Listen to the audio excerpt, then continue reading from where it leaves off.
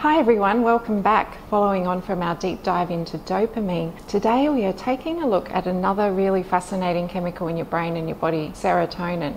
You might have heard of this one, it's often referred to as the feel good chemical, but it does a few different things for you, as well as getting your mood and your outlook right for the day. It also has a big impact on your digestion and your sleep. And if you don't have enough of this one, you can feel a little bit irritable or anxious. So if you'd like to fine tune your serotonin and learn a little bit more about this amazing chemical, then stay tuned. Let's get into it. So, serotonin is a really important neuromodulator in your brain and your body. In fact, most of your serotonin is produced in your gut, about 90%. So, your gut levels of serotonin are actually really important for your baseline amount. So, the amount that you will generally have when you wake up in the morning and as you go through the day. And then, as different things happen throughout the day, maybe someone says something nice and you're feeling really appreciated, you'll get a little peak of serotonin that is released in the brain. But if you're wanting to optimize the way that your serotonin is working, it's important that you consider your gut health because, of course, most of the serotonin is there. And before we get into any of these strategies, it's important to note that many antidepressant medications, the mechanism of action they work by is to boost serotonin levels. And it's really important not to make any changes to those without consulting your doctor. So there continues to be a lot of exciting research in this area, and we continue to learn how important the little bacteria that live in our gut is to our gut health and how important that is for our brain health and our levels of important neuromodulators like serotonin and like dopamine and others. So, to get those baseline levels of serotonin right, you really need to create an environment that supports those gut bacteria in thriving. So, when we talk about gut health, a key is the trillions of bacteria that are living inside there, and it turns out they play a really important role in modulating the production and some of them even being turned directly into neuromodulators like your serotonin. So it comes as no surprise that the research is starting to show that differences in the diversity of bacteria that each of us has there and the presence of particular strains of bacteria, they're learning more about which particular species are so important. Some of the species are particularly important in creating your serotonin. So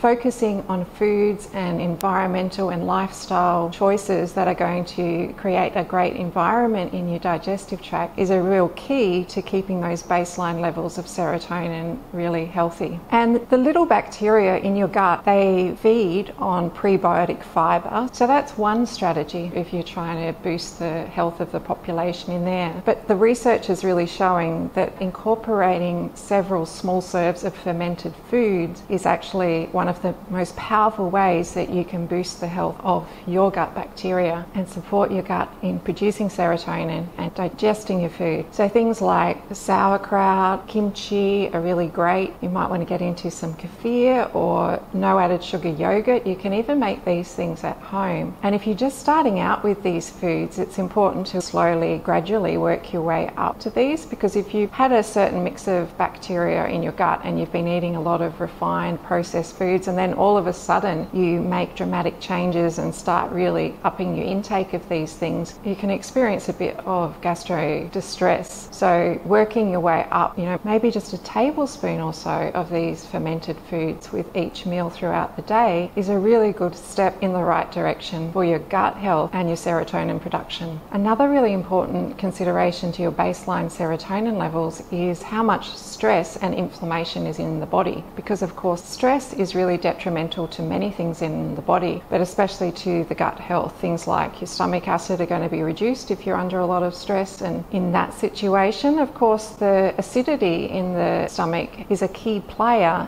in dictating which bacteria grow because they all have different pH or acidity levels that they tend to thrive at. And sometimes, if you don't have enough stomach acid, that can create an environment where undesirable bacteria can grow. So, focusing on your stress management, focusing on your sleep is really important as well, will have a big difference there. And then, in terms of inflammation, of course, that can come from many sources, but one of the key contributors is the foods that you eat. So, for many people, things like dairy and gluten containing grains can be a problem and create a inflammatory response in the body. And also, those refined carbohydrates, those refined flours and sugars can really be harmful as well. So, those foods can create an inflammatory process in the body and they can make the wall of the digestive tract a little bit leaky. And you might have heard of the term leaky gut. And it turns out that your gut is always communicating to your brain and your brain is always communicating to your gut. And if you are eating foods that are inflaming that gut wall lining and creating little holes in it, then undigested food particles that shouldn't be getting into the bloodstream can actually leak out through those holes in the gut wall and travel up to the brain and that can create an inflammatory process in the brain where there's little immune cells in your brain microglia cells and their role is to clean up different debris from different chemical processes in the brain. And if the inflammation from the gut begins to be communicated to the brain and switches these cells on, that can create an inflammatory process in the brain and you know so many different diseases including brain related ones like depression as well as heart disease cancer diabetes and arthritis are all linked to chronic inflammation levels. So whatever you can do throughout the day and through the foods that you eat to control that inflammation is going to have a really positive impact on your gut health and of course that directly affects the brain. So some great anti-inflammatory foods to include will be things like your brightly colored vegetables and fruit fruit, making sure you're getting enough omega 3 fatty acids, so things like wild caught fish, or talking to somebody about supplementing if you don't eat so much fish, or even incorporating things like green tea and turmeric can be really helpful to provide a great level of antioxidants and an anti inflammatory component as well. Another thing that can be really helpful for your serotonin levels and your overall sense of well-being is making sure you're getting enough natural sunlight, especially in the morning. If you can get sunlight in your eyes within an hour or so of waking, that can have a really significant impact in clicking your brain and your body into action because the nerve cells on your retina of your eye, which is actually part of the central nervous system along with your brain and your spinal cord, when they detect light, it actually initiates a cascade of really important processes in the brain and different cycles in the body. And one of the most important one of those is, of course, the light and dark cycle. So, in terms of your neuromodulators, you'll generally have higher levels of dopamine and noradrenaline earlier in the day, and then the serotonin levels will tend to increase naturally more in the second half of your day.